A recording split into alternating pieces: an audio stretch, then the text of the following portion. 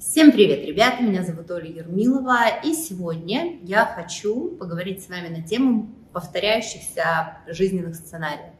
Я уже затрагивала эту тему, но сейчас, когда в моей стране происходит война, и происходит она для некоторых жителей уже второй раз, то есть уже второй раз подряд а, русский мир приходит в конкретные дома, конкретных людей и заставляет их начинать жить заново. Кроме этого, многие говорят о том, что так с ними происходит вообще не в первый раз по жизни.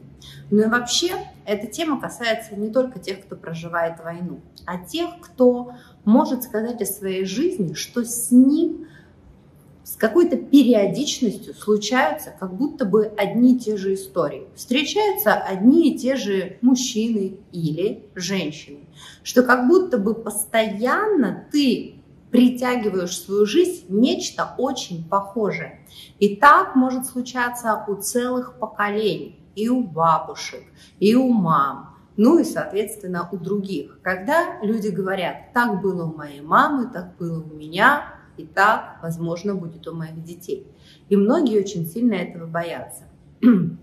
Я бы хотела сегодня поразмышлять на эту тему. Я не пророк, а, не ведунья, вот, э, но я хочу на эту тему поговорить, потому что на примере войны той же самой мы сейчас можем с вами видеть, что мы проживаем а, то, что видим на поверхности. Есть страна-агрессор, есть мы, мы защищаемся, у нас идут военные действия, мы проживаем страшный опыт, и здесь он также у каждого разный, потому что вне зависимости, э, точнее, а, с одной стороны, война идет на всей территории Украины, с другой стороны, есть люди, которые получают одни утраты, есть люди, которые получают другие утраты, и они у всех разные.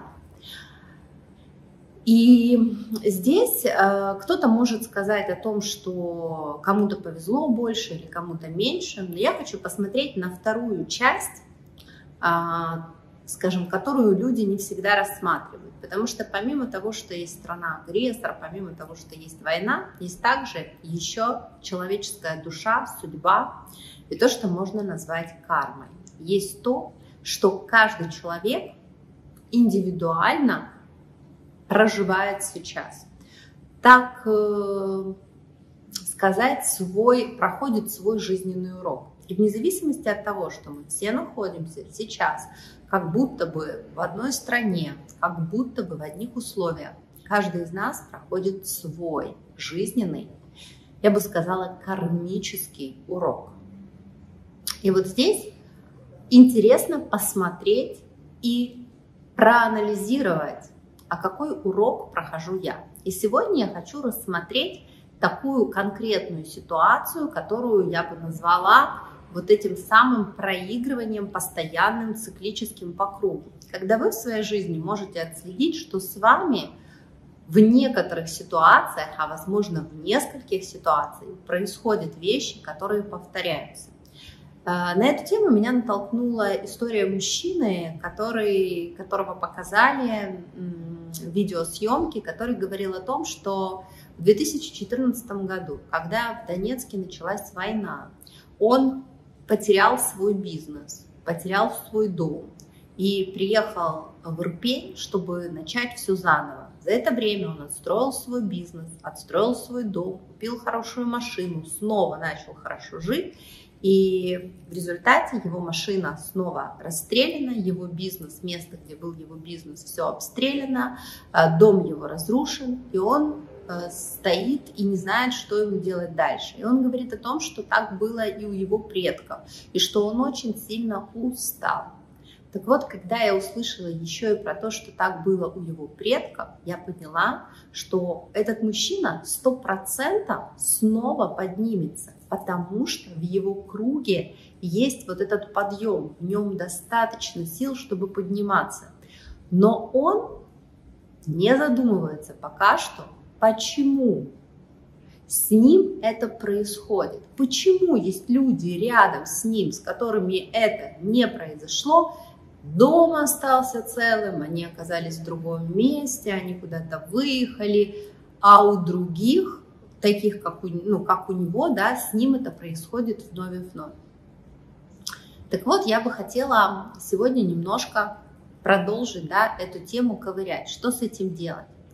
Мы должны с вами помнить, что, как бы это сейчас ни звучало в контексте происходящего, что у нас с вами есть центр управления нашей жизнью. И это наш мозг. Наш мозг, собственно, является некой энергетической паутинкой, которая постоянно вибрирует через свои мысли. В зависимости от того, как мы с вами мыслим и какие программы в нашей голове у нас работают, например, деньги приходят тяжелым трудом, я постоянно притягиваю в свою жизнь неприятности, стерто-стерто, мне все тяжело достается, стерто-стерто, а, вокруг меня много злых людей, мне необходимо за все сражаться, стерто-стерто. В зависимости от тех программ, которые есть в голове, мы с вами и создаем свое жизненное пространство. И э, у этого человека, скорее всего, в поколениях, помимо каких-то кармических вещей, которые там, возможно, он отрабатывает, также эти программы передавались, в результате чего создавалось некое энергетическое поле, в котором он и работает. Дело в том, что до тех пор, пока в нашей голове вбиты определенные программы, убеждениями мы их называем, мыслями, установками жизненными, мы находимся в этой жизненной парадигме. И до тех пор, пока мы это не изменим, мы будем постоянно в свою жизнь приносить те события, которые будут лишь подтверждать нашу программу. И подтверждать они их могут самым своеобразным образом, неважно, через войну, через какие-то другие разрушительные вещи. Но так или иначе это будет происходить. Что удивительно, если даже рассмотреть пример вот этого успешного мужчины, а его можно назвать успешным, успех которого постоянно ломают, это такой интересный вид людей, которые умеют зарабатывать деньги, умеют достигать успеха но при этом у них есть внутри какая-то внутренняя программа, которая работает, знаете, как бомба замедленного действия. И она в определенный период времени все равно взрывается. Она все равно делает когда-то свой бух, тогда, когда нужно начинать все сначала.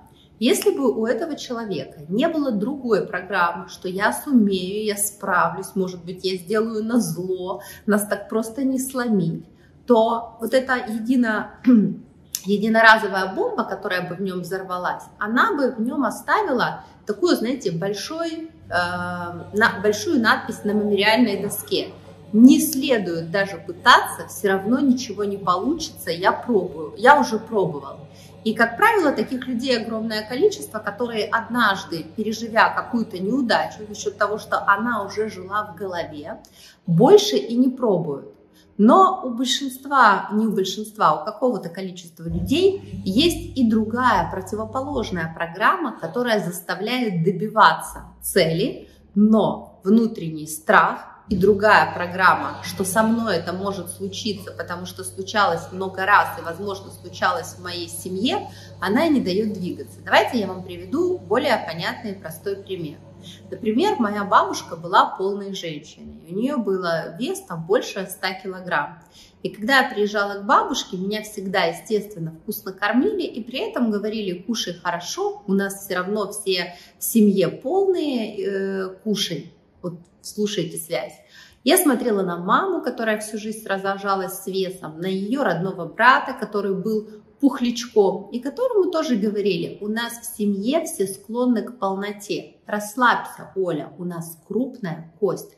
Худыми в нашей семье не рождаются. И при этом бабушка пекла мне пирожки, э, делала пончики из дрожжевого теста, и я знала, что бесполезно сидеть на диете, на которой я даже не пробовала сидеть или питаться как-то нормально, потому что в нашей семье все полные. Моя мама тщательно, отчаянно сидела на диетах, худела, но потом срывалась с диет и говорила, это бесполезно, это не работает, у нас в семье все полные. Вот приблизительно так и работают наши программы. Часто у женщин это касается, что все мужики сволочи, невозможно кого-то найти, или мужчины хотят от меня только этого. Или я притягиваю тех мужчин, которые не хотят работать. Или вообще мужчина не в состоянии что-то делать. Вот это внутренняя программа, которая у вас живет. Она часто бывает закопана где-то глубоко. И в сознательном своем уме вы вроде бы как ищете совершенно другие отношения. Или считаете, что вы выдержите вы способны построить бизнес. Но внутренняя подсознательная программа, червячок, который в вас живет, он и заставляет вас постоянно срываться. Он заставляет вас постоянно, скажем так, повторять эти программы. И затачивается так, так себе называемая кармическая программа. Если говорить про карму, я не эксперт в этой теме, но карма это что-то другое. Карма это история про жизненный опыт, который мы получали в предыдущих жизнях и, наверное, который мы и сегодня где-то отрабатываем. Скорее всего, мне кажется, что карма влияет на глобальные вещи, на то, где ты родишься, в какой семье, на то, какие у тебя могут быть, какое у тебя может быть здоровье, какие серьезные уроки ты должен пройти. Все остальные маленькие уроки – это как раз история про становление человека. Это, человека. это как раз про его внутренние убеждения, ценности и изменения убеждений, ценностей, создания новых, исходя из того жизненного опыта, который мы с вами получаем. Ведь жизненный опыт проб, ошибок меняет нас. Он делает нас более сильными или слабыми, более выносливыми в чем-то или наоборот. И наша задача с вами об этом помнить. И сейчас, если вы находитесь в трудной жизненной ситуации, Первое, что важно понять, что сейчас проходит момент учебы. Самое глупое, что мы можем сделать, это попытаться вести себя так же, как вели себя обычно. Это сейчас не анализировать, не думать, не задавать себе вопросы, не попытаться разобраться с тем, что это для меня открывает, где мои сильные стороны проявляются, какие возможности это передо мной открывает, а просто в очередной раз достать со своей головы этикетку «сложно», «плохо», «тяжело», «боль» и наклеить на это. Знаете, как бы сложно сейчас ни было, какой бы кошмар сейчас ни происходил в моей стране с людьми, я прекрасно понимаю, что абсолютно каждый человек проходит урок. И часто люди говорят про детей, которые, какие уроки они проходят.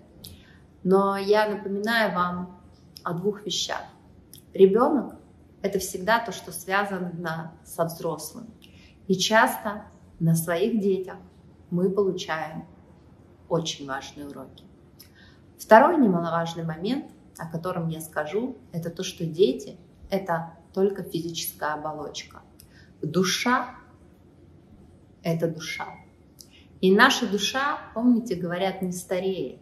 Наша душа – это некое особенное, условное тело. А стареет наша физическая оболочка. Душа может быть прекрасной, а может быть ужасной. И самые большие наши враги, враги мира, тех, кого мы ненавидим больше всего, когда-то уходят, покидают тело но души ведь остаются.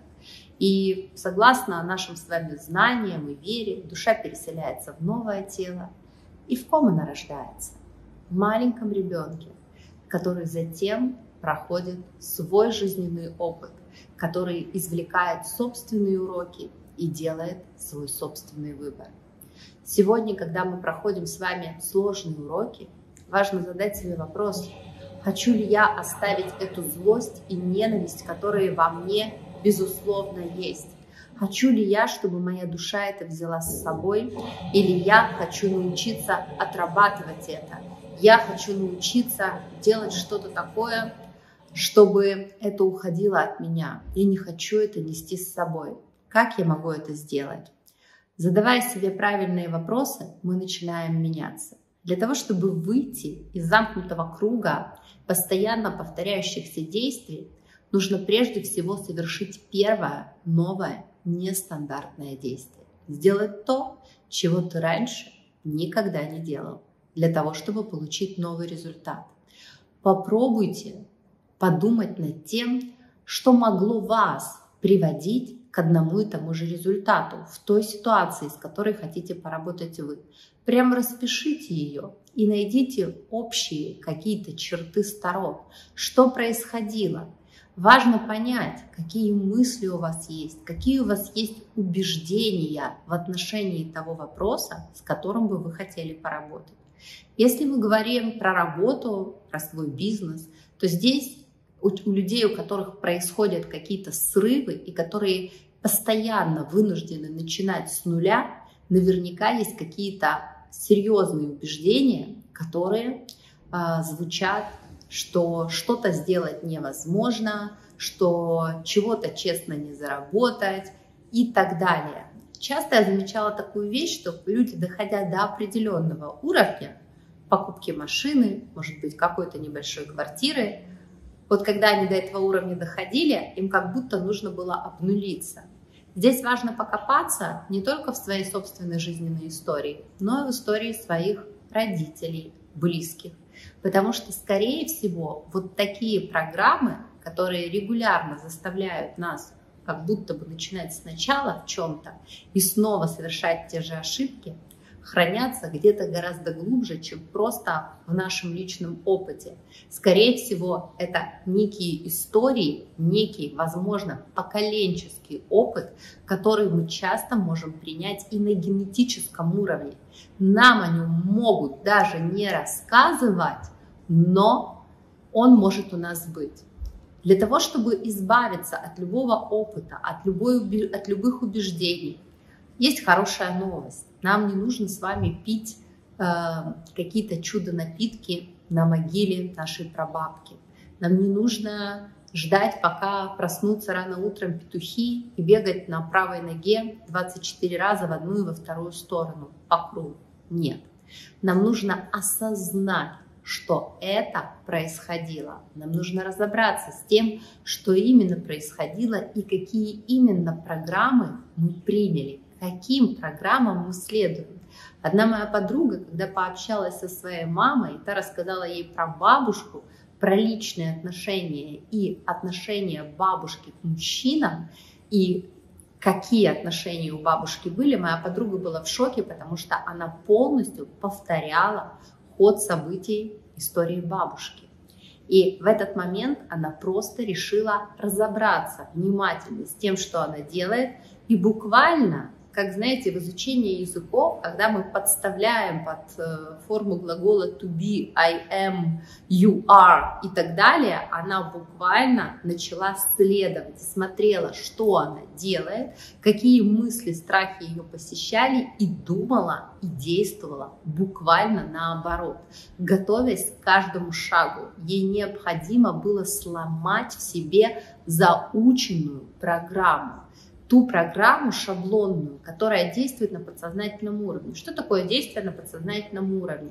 Это когда я беру ножницы, нож и режу морковку, даже не думая о том, как я ее режу. Когда вы берете в руку луковицу, если вы девушка, и вам ее нужно почистить и порезать там в суп, вы не смотрите в YouTube, как пользоваться луковицей, как взять в руку нож. Вы действуете. Действия на подсознательном уровне – это те действия, о которых мы не задумываемся. Точно так же, как вы садитесь за руль автомобиля, едете и не помните, как вы доехали. Точно так же, как ежедневно и регулярно повторяя пеший маршрут или маршрут на общественном транспорте, вы уже не контролируете, та ли это остановка, туда ли вы повернули. Вы не смотрите в навигатор, потому что это уже заложено в вас, этот маршрут в вас заложен. Точно так же и жизненные маршруты в нас заложены. И без анализа, без вот такого детального подхода и разбора с ответами на вопросы, зачем я так поступаю, почему, что мне это дает, как я могу поступить иначе, к какому результату я могу прийти, если я совершу другие действия. Помните, в школе нас учили решать уравнения. Нам нужно было разделить, например, узнать, что нужно поделить на 6, чтобы получить результат э, 6. Какое число это должно быть? И мы с вами решали, нас учили, что нам нужно знать таблицу умножения, нам нужно понять, что надо умножить на 6 сначала, чтобы э, получилось 36, вот, и потом мы будем понимать э, принципы деления. Вот точно так же и в жизни. Если вы понимаете, что вы снова ведете себя так, как всегда, и ваши мысли и страхи такие же, как обычно, не стоит рассчитывать на новый результат. Потому что в очередной раз вы получите тот результат, который был, в очередной раз вы разочаруетесь в этом результате, в очередной раз вы подтвердите, что действительно все плохо, ведь вы об этом знали, вот так я и знал, и ничего из этого, собственно, не выйдет. На самом деле тема очень глобальная и, как по мне, интересная. И я хотела провести на эту тему э, эфир в Инстаграме, но пока Инстаграм заблокировал мои эфиры, поэтому я приняла решение начать эту тему, по крайней мере, здесь. Пишите, пожалуйста, вопросы, которые вам интересны, если они есть, на эту тему, а может быть на другие, и мы продолжим с вами это общение. И помните, человеческая жизнь значительно сложнее и интереснее, чем мы можем это представить. И сегодня, совершая каждое действие, принимая каждое решение, все это происходит не просто так. Просто знайте об этом, помните об этом. И помните, что сегодня вы отвечаете исключительно сами за то, что будет с вами дальше. Это ваш выбор. Поэтому включайте голову, как бы сложно это ни было. Как я люблю повторять своим детям, голова – это не только место, где есть дырка для того, чтобы есть. Голова – это место, которое заключено самое главное ваше оружие, ваша сила, ваша возможность управлять своей жизнью. Управляйте ей достойно. І нехай у нашій країні, в нашій рідній Україні, якнайскоріше буде мир. Ми всі з вами цього дуже чекаємо. І як завжди, я вдячна усім людям за підтримку моєї країни. Слава Україні!